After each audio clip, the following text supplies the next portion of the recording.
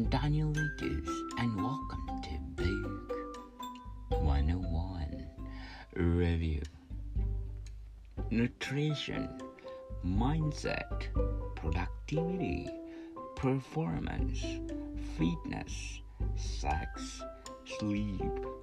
When we look through the keyhole of these areas of focus, we forget that they are interconnected interdependent.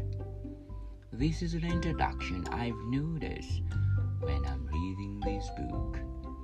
Own the day, own your life, optimize practices for waking, working, learning, eating, training, playing, sleeping, and sex by Aubrey Marcus.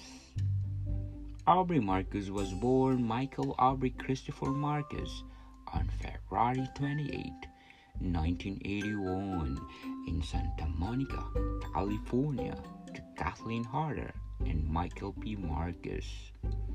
Due to confusion with his father's name, by the time he was a school age, most people called him Chris, his given middle name because his legal first name was remained Michael colloquial name was Chris.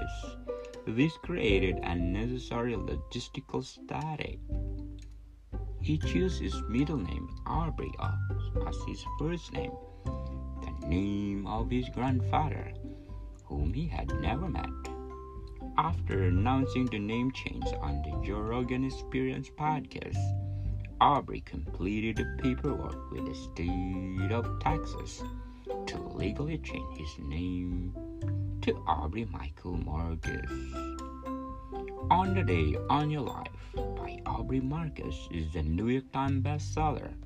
Revolutionize your life one day at a time with this empowering handbook designed for men and women, which provides simple strategies for each element of your day.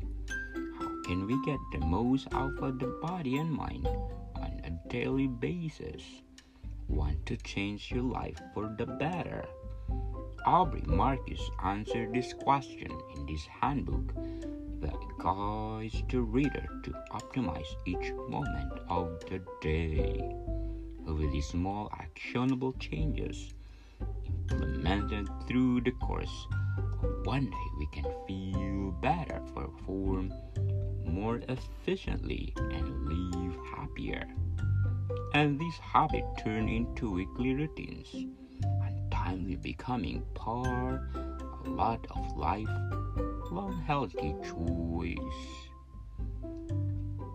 Own the day own your life, optimist practices for waking, working, learning, eating, training, playing, sleeping, and sex by Aubrey Marcus is highly recommended to read. To like it, share it, and definitely 10 plus. Marticon people, thank you for listening and see you soon.